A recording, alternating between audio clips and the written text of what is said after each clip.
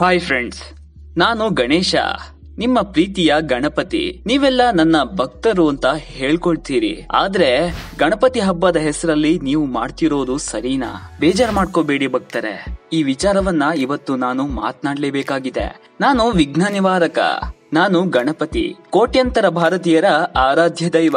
ಆದ್ರೆ ನನ್ನ ಹೆಸರಲ್ಲಿ ನೀವು ಮಾಡ್ತಿರೋದು ಸರಿನಾ? ಈ ಪ್ರಶ್ನೆಯನ್ನ ನಾನು ಇವತ್ತು ನಿಮ್ಗೆ ಕೇಳಲೇಬೇಕಾಗಿದೆ. ಎರಡು ನಿಮಿಷ ಟೈಮ್ ಮಾಡ್ಕೊಂಡು ಈ ವಿಡಿಯೋವನ್ನ ಪೂರ್ತಿ ನೋಡಿ. ನಾನು ಹೇಳಿದ್ದು ತಪ್ಪು ಅನ್ಸಿದ್ರೆ ಖಂಡಿತ ನನಗೆ ಪೂಜೆ ಮಾಡೋದನ್ನ ಬಿಟ್ಟು ಬಿಡಿ ಅಥವಾ ನಾನು ಹೇಳಿದ್ದು ನಿಮ್ಮ ಬಗ್ಗೆ ಕಳಕಳಿಯಿಂದ ಅಂತ ಅನ್ಸಿದ್ರೆ ನನ್ನ ಮಾತು ಸತ್ಯ ಎನಿಸಿದ್ರೆ ಎಲ್ಲರಿಗೂ ಶೇರ್ ಮಾಡಿ.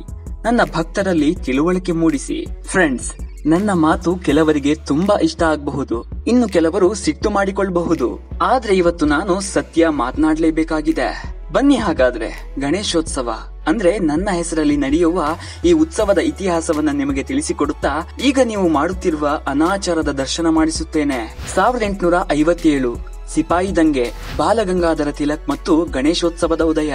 ಹೌದು ಫ್ರೆಂಡ್ಸ್ ಪುಡಾರಿ ಪೋಖರಿಗಳಂತೆ ಅಲ್ಲಾಡ್ಸು ಅಲ್ಲಾಡ್ಸು ಸಾಂಗ್ ಹಾಕಿಕೊಂಡು ಕುಡಿದು ಟೈಟ್ ಆಗಿ ನನ್ನ ಮೂರ್ತಿ ವಿಸರ್ಜನೆ ಮೆರವಣಿಗೆಯಲ್ಲಿ ತೇಲುತ್ತಾ ಹೋಗುವ ಮುನ್ನ ಈ ಉತ್ಸವದ ಇತಿಹಾಸವನ್ನ ನೀವು ತಿಳಿದುಕೊಳ್ಳಲೇಬೇಕು. ಸ್ನೇಹಿತರೆ, ಅದು ಸಾವಿರದ ಎಂಟುನೂರ ಐವತ್ತೇಳು. ಆಗ ನಡೆದ ಭಾರತದ ಪ್ರಥಮ ಸ್ವಾತಂತ್ರ್ಯ ಸಂಗ್ರಾಮದಲ್ಲಿ ಬಾಲಗಂಗಾಧರನಾಥ ತಿಲಕ್ ಪ್ರಮುಖವಾಗಿ ಕಾಣಿಸಿಕೊಂಡಿದ್ರು. ಆದ್ರೆ ಪ್ರಥಮ ಸ್ವಾತಂತ್ರ್ಯ ಸಂಗ್ರಾಮ ವಿಫಲವಾದಾಗ ಭಾರತೀಯರಲ್ಲಿ ಒಗ್ಗಟ್ಟಿನ ಕೊರತೆ ಇರೋದು ಬಾಲಗಂಗಾಧರನಾಥ ತಿಲಕರಿಗೆ ಅರ್ಥವಾಗಿತ್ತು. ಆಗ ಬಾಲಗಂಗಾಧರನಾಥ ತಿಲಕರು ಇಡೀ ಭಾರತವನ್ನ ಒಂದು ಮಾಡಬಹುದಾದ ಆ ಒಂದು ಶಕ್ತಿಗಾಗಿ ಹುಡುಕಾಡ್ತಾ ಇದ್ರು. ಆಗ ಅವರಿಗೆ ನೆನಪಾಗಿದ್ದೆ ನಾನು. ಅಂದ್ರೆ ನಿಮ್ಮ ಗಣಪತಿ. ಆಗಿನ ದಿನಗಳಲ್ಲಿ ನನ್ನ ಈ ಹಬ್ಬವನ್ನ ಕೇವಲ ಮನೆಯೊಳಗಿನ ಖಾಸಗಿ ಪೂಜೆ ಆಚರಣೆ ತರ ಭಕ್ತರು ಆಚರಿಸ್ತಾ ಇದ್ರು. ಆದರೆ ಶ್ರೀಮಂತರಿಂದ ಹಿಡಿದು ಬಡವರವರೆಗೆ, ಮೇಲ್ಜಾತಿಯವರಿಂದ ಹಿಡಿದು ಕೆಳಜಾತಿಯವರೆಗೆ ಎಲ್ಲರೂ ಗಣೇಶ ಕಾಪಾಡಪ್ಪ ಅಂತ ನನ್ನನ್ನ ಸಂಭ್ರಮದಿಂದ ಸೆಲೆಬ್ರೇಟ್ ಮಾಡ್ತಾ ಇದ್ರು. ಹೀಗಾಗಿ ಇದಕ್ಕೆ ಒಂದು ಉತ್ಸವದ ರೂಪವನ್ನ ಕೊಡಲು ಮುಂದಾದ್ರು ಬಾಲಗಂಗಾಧರನಾಥ ತಿಲಕರು ಸಾವಿರದ ಎಂಟುನೂರ ತೊಂಬತ್ ಮೂರರಲ್ಲಿ ಮೊತ್ತ ಮೊದಲ ಬಾರಿಗೆ ಸಾರ್ವಜನಿಕ ಗಣೇಶೋತ್ಸವವನ್ನ ಆಚರಿಸಿದರು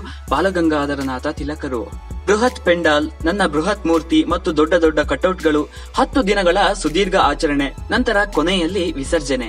ಇದೆಲ್ಲವನ್ನ ಮೊತ್ತ ಮೊದಲ ಬಾರಿಗೆ ಆಚರಿಸಿದ್ದು ಬಾಲಗಂಗಾಧರನಾಥ ತಿಲಕ್. ಭಾರತೀಯರಲ್ಲಿ ನಾವೆಲ್ಲ ಒಂದು ಎನ್ನುವ ಭಾವನೆ ಮೂಡಿಸುವ ಸಲುವಾಗಿ ಅಂದು ಬ್ರಿಟಿಷರ ವಿರುದ್ಧ ಒಗ್ಗಟ್ಟಿನ ಭಾವನೆ ಮೂಡಿಸಲು ಆ ರೀತಿ ಶುರುವಾದ ನನ್ನ ಉತ್ಸವವನ್ನ ನೀವು ಇವತ್ತು ಯಾವ ಪರಿಸ್ಥಿತಿಗೆ ತಂದಿದ್ದೀರಿ ನೋಡಿ. ಅಂದು ಸಂಗೀತದ ಮೂಲಕ ನನ್ನ ಗುಣಗಾನ ಮಾಡ್ತಾ ಇದ್ರು. ಗಣಪತಿ ಬಪ್ಪ ಮೋರೆಯ ಹಾಡು ಮೊಳಗ್ತಾ ಇತ್ತು. ಜೈ ಗಣೇಶ ಜೈ ಗಣೇಶ ಅಂತ ಜನ ಭಕ್ತಿಯಲ್ಲಿ ಮಿಂದೇಳ್ತಾ ಇದ್ರು. ಗಣಪತಿಯೇ ಗಜಮುಖನೆ, ನಿನಗೆ ವಂದನೆ ಅಂತ ಹಾಡಿ ನನಗೆ ಭಕ್ತಿ ಸಮರ್ಪಣೆಯನ್ನ ಮಾಡ್ತಾ ಇದ್ರು. ನನಗೆ ಸಂಬಂಧಪಟ್ಟ ನೂರಾರು ಗೀತಗಾಯನ ನಡೀತಾ ಇತ್ತು. ಆದ್ರೆ ಈಗ ಅಂತಹ ಉತ್ಸವವನ್ನ ನೀವು ಏನು ಮಾಡಿ ಹಾಕಿದ್ದೀರಿ ನೋಡಿ. ಅಲ್ಲಾಡ್ಸು ಅಲ್ಲಾಡ್ಸು ಅಂತ ಅಲ್ಲಾಡಿಸುತ್ತೀರಿ. ಟಾಪ್ ಟು ಬಾಟಮ್ ಗಾಂಚಲಿ ಅಂತ ಚಡ್ಡಿ ಹರಿದು ಹೋಗುವಷ್ಟು ಕಿರುಚಿ ನೆಗೆದಾಡಿ ಕುಣಿಯುತ್ತೀರಿ.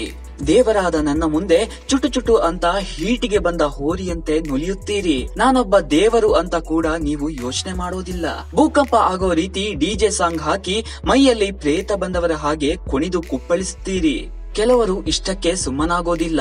ನನಗೆ ನೈವೇದ್ಯ ಮಾಡಿದ ತೀರ್ಥ ಪ್ರಸಾದದ ಬದಲು ಬಾಟಲಿ ಎಣ್ಣೆಯನ್ನ ತಲೆ ತನಕ ಏರಿಸಿಕೊಂಡು ಹಾವಿಗಿಂತಲೂ ಕಡೆಯಾಗಿ ಉರುಳಾಡುತ್ತೀರಿ. ಕುಡಿದ ಮತ್ತಲ್ಲಿ ತಲೆಗೆ ಪೆಟ್ಟು ಬಿದ್ದವರಂತೆ ನಲಿದಾಡುತ್ತೀರಿ. ಇನ್ನು ಕೆಲ ಪುಡಾರಿಗಳು ಹೆಣ್ಣು ಮಕ್ಕಳ ಮೇಲೆ ದೌರ್ಜನ್ಯ ಮಾಡಿ ಖುಷಿ ಪಡೋಕೆ ಅಂತಾನೆ ಬರ್ತಾರೆ ಅನ್ನೋದನ್ನ ನೆನೆಸ್ಕೊಂಡ್ರೆ ನನಗೆ ವಿಪರೀತ ಕೋಪ ಬರುತ್ತೆ. ಇದೇ ವಿಚಾರಕ್ಕೆ ಬಹಳ ಗಲಾಟೆ ಮಾಡಿಕೊಂಡು ಬಡಿದಾಡಿದ್ದೀರಿ. ನೀವು ಮಾಡುವ ಇಂತಹ ಕೆಲಸದಿಂದ ನಿಜವಾಗಿಯೂ ಶ್ರದ್ಧೆಯಿಂದ ಬರುವ ನನ್ನ ಭಕ್ತರಿಗೆ ಕಿರಿಕಿರಿ ಆಗ್ತಾ ಇದೆ. ಎಂತಹ ದುರಾವಸ್ಥೆ ನೋಡಿ, ನನ್ನ ಸುಂದರ ಆಕಾರವನ್ನ ಕೂಡ ನೀವು ವಿಕಾರ ಮಾಡಿದ್ದೀರಿ. ಬಾಡಿ ಬಿಲ್ಡರ್ ಗಣಪತಿಯಿಂದ ಹಿಡಿದು ಪಬ್ಜಿ ಗಣೇಶನ ತನಕ ನನ್ನನ್ನ ಏನೇನ್ ಮಾಡಿಲ್ಲ ಹೇಳಿ ನೀವು. ಇಷ್ಟೆಲ್ಲ ಆದ್ಮೇಲೆ ನನ್ನನ್ನ ತೆಗೆದುಕೊಂಡು ಹೋಗಿ ಒಂದು ಕಡೆ ಮುಳುಗಿಸಿ ಬಿಡ್ತೀರಿ. ಪಿಒಪಿಯಲ್ಲಿ ನನ್ನನ್ನ ಮಾಡ್ಬೇಡಿ. ಅದು ನೀರಲ್ಲಿ ಕರಗೋದಿಲ್ಲ. ಈ ರೀತಿ ವಿಕಾರವಾಗಿ ನನ್ನ ಮೂರ್ತಿಗಳು ಬಹಳ ದಿನ ಕೊಳೆಯುತ್ತಿರುತ್ತವೆ. ಇದರ ಬದಲಾಗಿ ನನ್ನ ಮೂರ್ತಿಯನ್ನ ಮಣ್ಣಿನಿಂದ ಮಾಡಿ, ಭಕ್ತಿಯಿಂದ ಹಬ್ಬವನ್ನ ಆಚರಿಸಿ, ನಂತರ ಮಣ್ಣಿನಿಂದ ಮಾಡಿದ ನನ್ನ ಮೂರ್ತಿಯನ್ನ ನೀರಿನಲ್ಲಿ ಬಿಡಿ. ನಾನು ನೀಟಾಗಿ ಕರಗಿ ಹೋಗ್ತೇನೆ. ಅರ್ಧಂಬರ್ಧ ಕೊಳೆತು ನಿಂತು ನನಗೆ ಅವಮಾನ ಆಗೋದು ತಪ್ಪುತ್ತೆ. ದಯವಿಟ್ಟು ಇನ್ನಾದ್ರೂ ಇದನ್ನ ಫಾಲೋ ಮಾಡಿ ಭಕ್ತರೆ. ಸದ್ಯಕ್ಕೆ ನೀವು ಮಾಡುವ ಎಲ್ಲಾ ತಪ್ಪುಗಳನ್ನ ಮೌನವಾಗಿ ನೋಡುವ ಪರಿಸ್ಥಿತಿ ನನ್ನದಾಗಿದೆ. ಶಿಕ್ಷೆ ಕೊಡೋಣ ಅಂದ್ರೆ ಎಷ್ಟಾದ್ರೂ ನೀವು ನನ್ನ ಭಕ್ತರು. ನೀವಾಗೆ ಪಾಠ ಕಲಿಯಲಿ ಅಂತ ಕಾದು ಕಾದು ನನಗಂತೂ ಸುಸ್ತಾಗಿದೆ. ನನ್ನ ಹೆಸರು ಹೇಳ್ಕೊಂಡು ಉತ್ಸವ ಮಾಡುವ ನೀವು ಭಕ್ತಿಯೊಂದನ್ನ ಬಿಟ್ಟು ಬೇರೆ ಎಲ್ಲಾ ಮಾಡ್ತಿದ್ದೀರಿ. ನನ್ನ ತಾಳ್ಮೆಯ ಮಿತಿ ಮೀರ್ತಾ ಇದೆ. ನನ್ನ ತಾಳ್ಮೆಯನ್ನ ಪರೀಕ್ಷೆ ಮಾಡಬೇಡಿ. ಈಗಲೇ ನನ್ನ ಈ ಸಂದೇಶವನ್ನ ಎಲ್ಲಾ ಭಕ್ತರಿಗೂ ತಲುಪಿಸಿ. ನಿಜವಾಗಿಯೂ ಭಕ್ತಿ ಅಂದ್ರೆ ಏನು ಅಂತ ಎಲ್ಲರಿಗೂ ಅರ್ಥ ಮಾಡಿಸಿ. ಇಲ್ಲ ಅಂದ್ರೆ ನಾನೇ ಪಾಠ ಕಲಿಸ್ಬೇಕು ಅಂದ್ರೆ ಸರಿ, ಆಯ್ಕೆ ನಿಮಗೆ ಬಿಟ್ಟಿದ್ದು.